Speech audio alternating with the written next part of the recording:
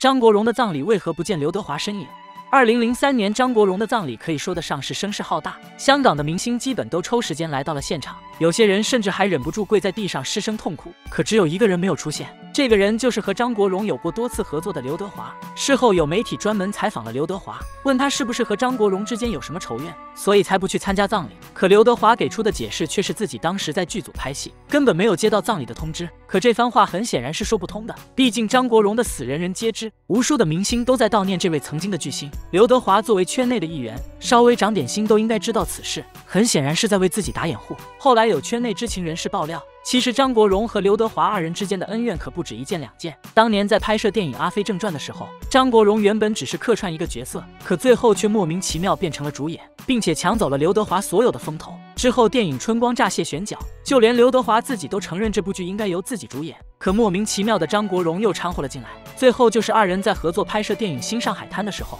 两个人不仅争了番位，而且张国荣在接受采访的时候还对着刘德华喊了一句“八嘎”，这句话可是极具侮辱性的意思。虽然张国荣明确表示他只是想要表达刘德华是一个傻傻的艺人，并没有其他的意思。刘德华接受采访的时候也是笑嘻嘻的模样，可两个人之间没有什么芥蒂是完全不可能的。这样转过身来一看，刘德华不参加张国荣的葬礼，难道真的是他故意的吗？我们将此事带入现实生活中思量一下：如果你突然得知你的同事去世了，全公司的人都要去参加他的葬礼，此时大部分的人恐怕都会选择跟着一起去。可若是这个同事曾经和你发生过无数的冲突，而且在私下更是势如水火。在工作里面也有着颇多的竞争，这个时候你会不会去？可能就完全看自己当时的心情了。刘德华也正是处在极度的纠结中，最后才做出了这个决定。再加上刘德华从来没有说过张国荣什么坏话，反而是张国荣生前的时候有着很多针对刘德华的举动，所以刘德华作为一个正常人，做出这样的选择其实也并没有什么错，并不是一个人的死就要获得所有人的悼念，每个人都是具有双面性的，你眼中的好人很有可能是其他人眼中的坏蛋。